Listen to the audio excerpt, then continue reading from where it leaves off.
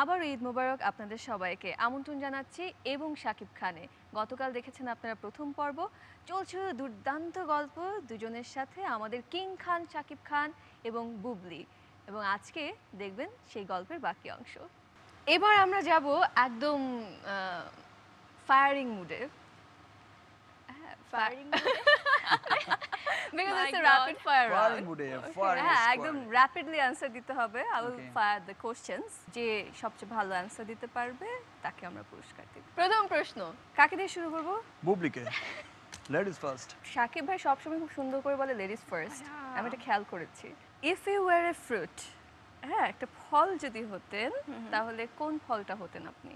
আমি? হুম। Mango because I love mango যদি time machine আসলেই আপনার সামনে চলে আসে সেই টাইম মেশিনে আপনি কোন সময়টাতে যেতে চাবেন ফিউচার অর পাস্ট ফিউচার দেখতে চাই কি হবে সামনে। যদি পৃথিবীতে ঠিক এখন যেভাবে আছেন সেভাবেই থাকবার সুযোগ পান এভাবেই থাকবেন? ডেফিনেটলি আরও ভালো থাকার চেষ্টা করব। ওকে যদি আপনার ব্রেইনে একটা চিপ ইনস্টল করা হয় যেইটা দিয়ে আপনি যে কোনো ভাষায় ট্রান্সলেট করতে পারবেন ইংলিশ বাদে কোন ভাষাটা চুজ করবেন? অ্যারাবিক সুপার ন্যাচারাল পাওয়ার যদি বলা হয় যে বেছে নিতে পারবেন কোনটা বাছাই করবেন? ইনভিজিবল হওয়া। ওয়াই ইনভিজিবল ইনভিজিবল হয়ে দেখতে চাই আসলে কি হচ্ছে কোথায়? দেন আমার নেক্সট কোশ্চেনের অ্যান্সার ওকে ইনভিজিবল হয়ে কাকে স্টক করতে চান? এই মুহূর্তে আপনাকে। কারণ কি কোয়েশ্চেন আছে এরপর ওটা দেখতে চাই। আচ্ছা এখন আমি আবার আপনার কাছে আসছি তারপরে আবারও বুবলির কাছে যাচ্ছি। আপনি যদি একটা ফল হতেন তাহলে কোন ফলটা হতেন? গ্রিন অ্যাপেল এভারগ্রিন আপনি যদি একটা টাইম মেশিন থাকতো তাহলে কোথায় যেতে যেতেন past or future definitely future আপনি যদি ইনভিজিবল হতেন আপনি কোন অ্যাক্ট্রেসকে স্টক করতেন ট্রুলি বলা বলা যাবে না যে কাকে করতাম বাট ওই আপনাকে I'm not an actress. I'm not from film fraternity. okay, I'm going for the next question. Mama's boy. For those আপনার উপরে সবচেয়ে উইয়ার্ডেস্ট পিক আপ লাইন কি ইউজ করা হয়েছে? অনেক রকমই তো ছিল। আর এই মুহূর্তে মনে পড়ছে না। এবার যেটাতে যাচ্ছি এটা হচ্ছে নেভার হ্যাভ আই এভার আপনি কখনো এটা এক্সপিরিয়েন্স করেছেন নাকি করেননি? যদি করে থাকেন বলবেন যে হ্যাঁ করেছি না করলে করেননি। কখনো আহ, ভৌতিক কোনো অভিজ্ঞতা হয়েছে? হ্যাঁ হয়েছে। হয়েছে? বিশ্বাস করেন? করি না তারপরেও আম, একা থাকতে তো ভয় লাগে। আচ্ছা ভৌতিক কোনো অভিজ্ঞতা হয়েছে? হুম হয়েছে। কখনো কারও ফোন তার পারমিশন ছাড়া দেখেছেন? চেক করেছেন? না। না। স্পেশালি এই বিষয়টা তো মেয়েদের কাজ। ছেলেরা নর্মালি কখনোই কারও ফোন ওইভাবে দেখতে যায় না। ইনফ্যাক্ট নিজের গার্লফ্রেন্ডের ফোনও দেখতে যায় না। আরেকটা জিনিস যেটা আমরা মেয়েদের কথা যে বলল মেয়েরাও বা দেখবে কীভাবে? পাসওয়ার্ড তো দেওয়া থাকে ও বাবা পাসওয়ার্ড কীভাবে যে বের করে ফেলে? আচ্ছা। তাহলে আহ, আমি কি উত্তরটা নিব যে আপনি চেষ্টা করেছেন পাসওয়ার্ডের জন্য পারেননি? মেয়েদেরকে বলল না যে মেয়েরা দেখে। তার মানে আমরা কেন ব্লেমটা নিব? ডেফিনেটলি এখন পাসওয়ার্ড অপশন আছে সো সবাই পাসওয়ার্ড দিয়ে রাখতে পারে বাট আই নেভার পাসওয়ার্ড ভাঙার কৌশলও মেয়েরা খুব ভালোই জানে। আচ্ছা। সিনেমা দেখতে গিয়ে কখনো ঘুমিয়ে গেছেন? অনেক সিনেমা দেখতে গিয়ে ঘুমিয়ে গেছে। অনেকবার। হলে গিয়ে দেখতে গিয়ে একদম ঘুম? হলে যে এটা হয় না আচ্ছা মানে এমনি ঘরের হ্যাঁ, ভিতরে. আমি হলে গিয়ে দেখতে গিয়ে অনেক অনেকবার ঘুমিয়ে গেছি আমার হলে গিয়ে সবসময় আমি সিরিয়াস আমার ফার্স্ট টু লাস্ট একদম দেখতে হবে সব। আচ্ছা।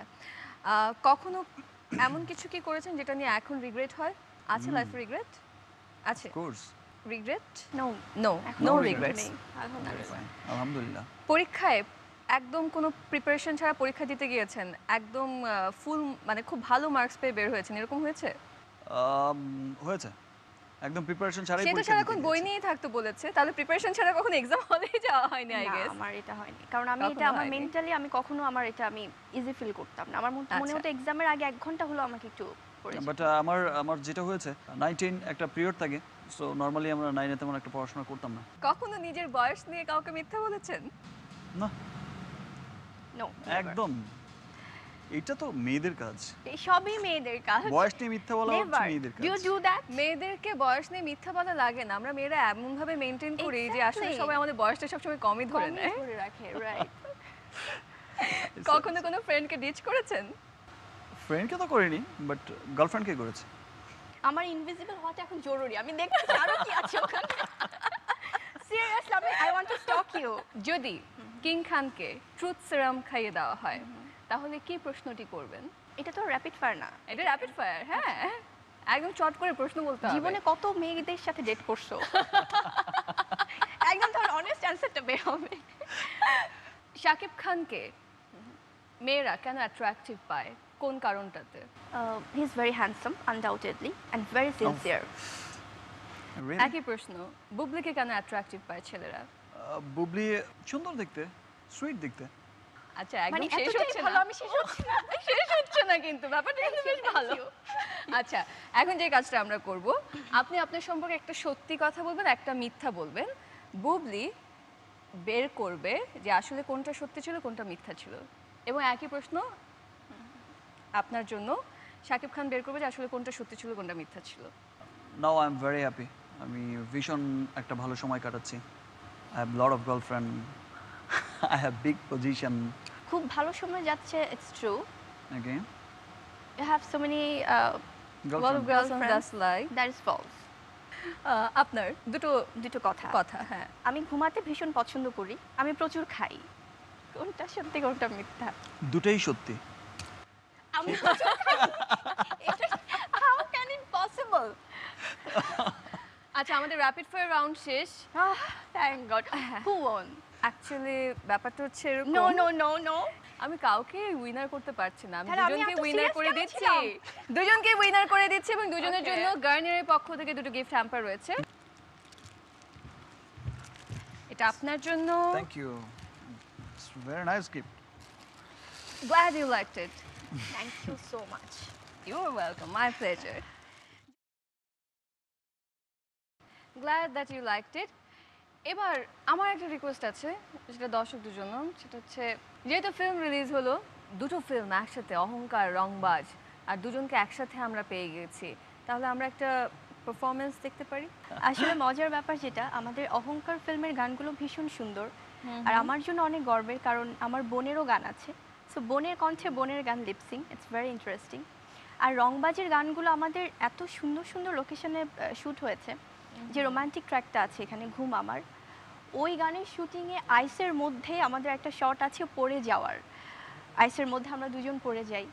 তারপর যে আমার কাঁপুনি শুরু হলো মানে ও মানে মাই আইসের মধ্যে পড়ে গেলে মানে সেখানে তো মাইনাস অনেক অনেক ছিল। Celsius, তার মধ্যে ঠান্ডা বাতাস। ল্যান্ড থেকে টেন থাউজেন্ড ফিট উপরে তারপরে আবার দুইটা কেবল কার ক্রস করে গিয়ে তারপর সেই লোকেশনে পৌঁছাতে। আর চতুর্দিকে আইস আইসেই মানুষ খেলা করছে।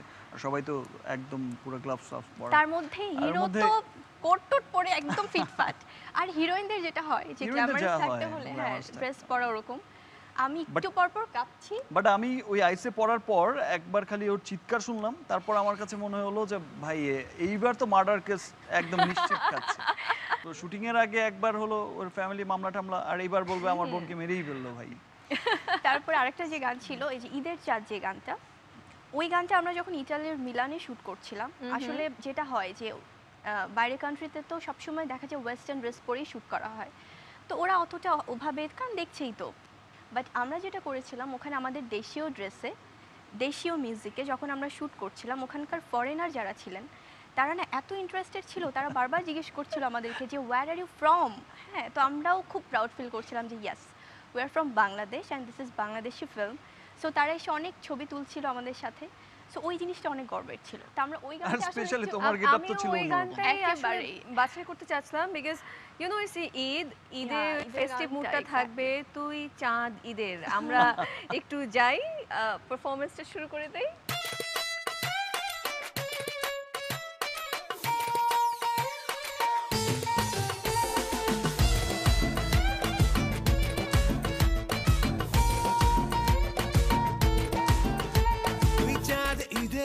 ঈদের হায়াল্লা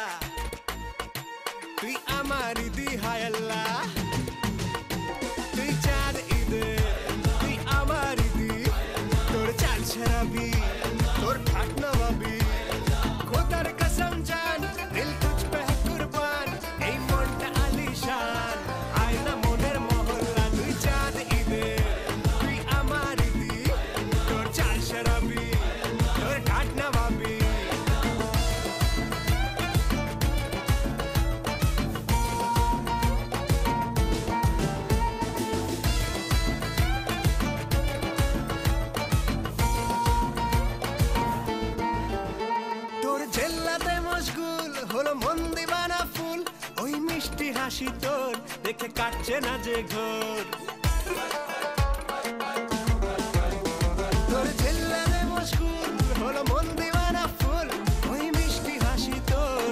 কাটছে না যে ঘোর। খোদার কসম জান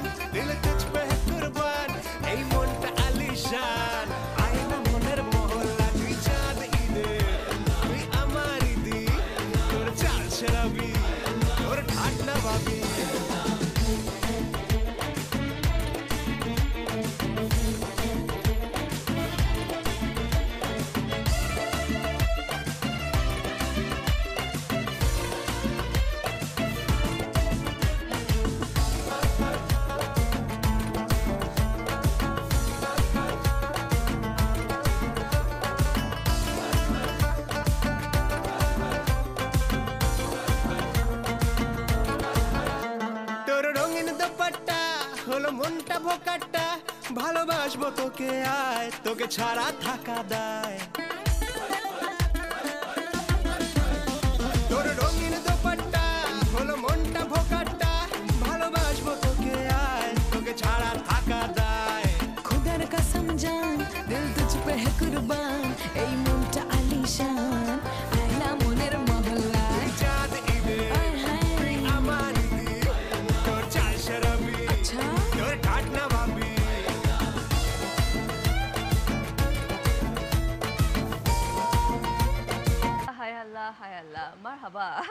থ্যাংক ইউ ভেরি মাচ আচ্ছা আমি যদি এখন একটা প্রশ্ন করি অ্যাক্ট্রেসকে ডেট করার সবচেয়ে ওয়ার্স পার্ট কি?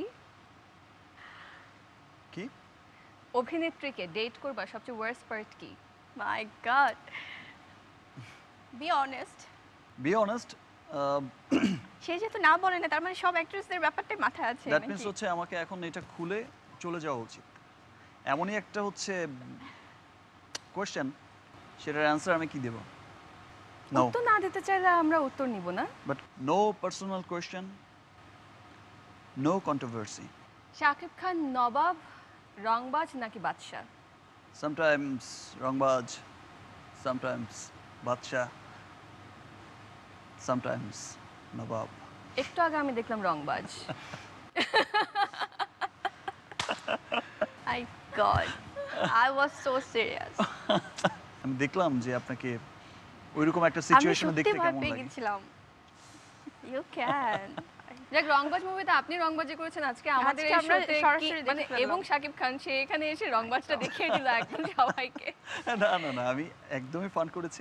হ্যাঁ ইটস এ ফান শো এবং শাকিব খান মানে আসলে অনেক কিছু সেটাই আমরা এখানে এবং শাকিব খান শোতে প্রেজেন্ট করতে চেয়েছি এবং আপনার যে দুটো ফিল্ম এই ঈদে পেল দর্শকরা অহংকার এবং রংবাজ সেই দুটো ফিল্মে দর্শকদের জন্য কোনো মেসেজ দুজনের কাছ থেকে আমরা শুনে নিই।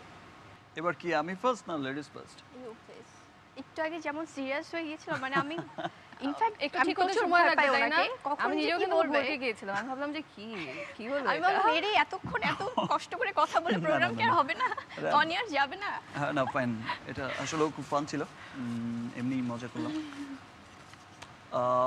দর্শকদের আমার সবসময় বলার যেটা থাকে যে এবার ঈদে আমার দুটি ছবি মুক্তি পাচ্ছে, দুটি সিনেমা দুটি সিনেমাই আমার দর্শকদের আমার, আমাকে যারা ভালোবাসে তাদের সবাইকে অনেক আনন্দ দেবে বলে আমার বিশ্বাস।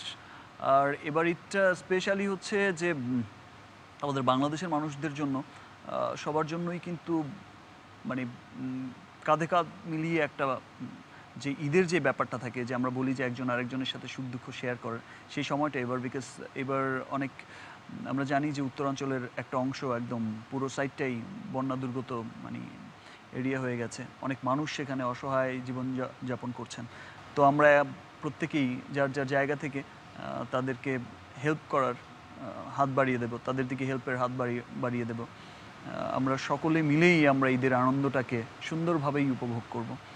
এই যে একটা অর সিচুয়েশন যাচ্ছে, বন্যা দুর্গত এরিয়া যেখানে আছে, সেই বন্যা দুর্গত এরিয়ার অসহায় মানুষগুলো, তারা যেন ফিলটা না করে যে ঈদের সময় তারা অসহায়। আমি আমার জায়গা থেকে, আমার যারা, আমাকে যারা ভালোবাসেন, তাদের প্রত্যেকের কাছে একটি একটাই অনুরোধ রইল যে প্লিজ ঈদটা এমন একটা ঈদ হোক, যেন কোনো সেই দুর্গত অঞ্চলের অসহায় মানুষগুলো ফিল না করে যে তাদের একটা ঈদ মিস হয়ে গেল, তাদের ঈদের আনন্দটা মিস হয়ে গেল। আমরা সকলে মিলেমিশেই বাংলাদেশে অনেক আনন্দের একটা ঈদ কাটাবো। প্রথমেই থ্যাঙ্কস টু ইউ এত সুন্দর করে পুরো প্রোগ্রামে আমাদেরকে ভয়, আনন্দ টেনশন সব দেওয়ার জন্য। আর থ্যাঙ্কস টু আর টিভি আর টিভিকে অনেক ধন্যবাদ। বিদ্যুৎ ভাইকে অসংখ্য ধন্যবাদ। আমাদেরকে এত সুন্দর একটা আয়োজন ইনভাইট করেছে। আর আর টিভি দর্শক যারা আছেন, তাদের জন্য বলতে চাই আসলে ঈদের আনন্দ শুধু একার না, সবার জন্য। সবার একসাথে ঈদ উদযাপন করুন। সেটি আপনার পরিবার হোক, আপনার কাছের মানুষ হোক, যেই হোক। আর ঈদের আনন্দ দ্বিগুণ বাড়িয়ে দেয় ঈদের মুভিগুলো। সো হলে গিয়ে অহংকার, রংবাজ দুটি মুভি দেখুন আর যে যেখান থেকে পারুন বন্যাতদের জন্য সাহায্য করুন। সবাই নিরাপদে থাকুন। ঈদ মোবারক। আমরা যদি বলি আমাদের চলচ্চিত্রের একটা অধ্যায় শেষ, আমরা হারিয়েছি আমাদের নায়করাজ নায়করাজ রাজ্জাককে। এবং আপনি বলছিলেন যে তিনি আপনার মাথায় হাত রেখে বলেছিলেন যে সাকিব তুমি ভালো অভিনয় করছ। এটা তো বড় একটা প্রাপ্তি। মানে আমাদের নায়করাজ রাজ্জাক আঙ্কেলের এবং তার পরিবারের সাথে আমার কেমন সম্পর্ক ছিল বা কেমন সম্পর্ক, সেটা শুধু সেই পরিবার আর আমিই জানি। তিনি আমাকে তার সন্তানের মতোই ভালোবাসতেন। এবং আমি আমার সমস্ত, আমার কোনো হ্যাপি কোনো কিছু, কোনো প্রাপ্তি আমি তার কাছে যেতাম। বিকজ তিনি যে জায়গাটা, যেই আসনটায় বসেছিলেন, সেই আসনটায় তো আর কেউ নেই। নায়ক রাজ। সো আমি তার কাছে যেতাম, আমার ভালো লাগতো, তার কথা শুনতে ভালো লাগতো। আমি অনেক মানে স্পিড পেতাম তার কথা। অনেক ভালো লাগতো। এত প্রশংসা করতো, এত ইন্সপায়ার করতো। আরও ভালো কাজের। আমার যখন কোনো কিছু নিয়ে একটু বাজে সময় যেত, সেই সময় তার কাছে যেতাম। আমার যে কোনো সিচুয়েশন আমি তার কাছে যেতাম ভালো মন্দ যেটাই হোক। তিনি তার জীবনের আলোকে আমাকে যেই কথাগুলো বলতেন সেটা আমাকে আসলেও অনেক অনেক মানে উৎসাহ যোগাতো ভালো কাজ করার ভালোভাবে বেঁচে থাকার। সো আসলে নায়কদের কখনো মৃত্যু হয় না। তারা সব সময় তাদের ভক্তদের হৃদয়ে সারা জীবন থেকে যায় তাদের কাজগুলো সব সময় থেকে যায়। আর যেখানে নায়ক রাজের কথা বলছি আমরা তিনি তো সেই রাজ সিংহাসনে সব সময় থাকবেন এই ফিল্ম ইন্ডাস্ট্রিতে কোটি মানুষ তার মৃত্যুতেও কোটি মানুষের শ্রদ্ধা আবারও বুঝিয়ে দিয়ে গেলেন আবারও বুঝিয়ে দিয়ে গেলেন সবাইকে দেখিয়ে দিয়ে গেলেন। তিনি সত্যিই নায়করাজ আমরা সবাই ওনার জন্য দোয়া করব আসলে। এটা ছাড়া কি বা আমরা করতে পারি এখন? ওনার আত্মার মাগফিরাত কামনা আত্মার করছি। মাগফিরাত কামনা করছি।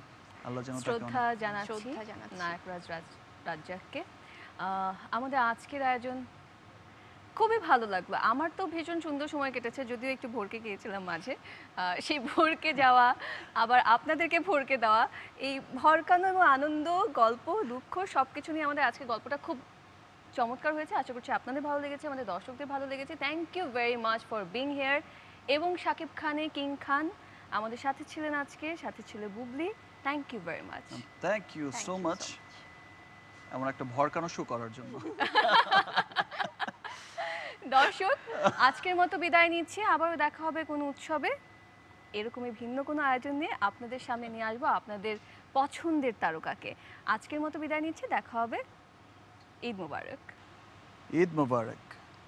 সবাইকে ঈদের অনেক শুভেচ্ছা। ঈদ মোবারক।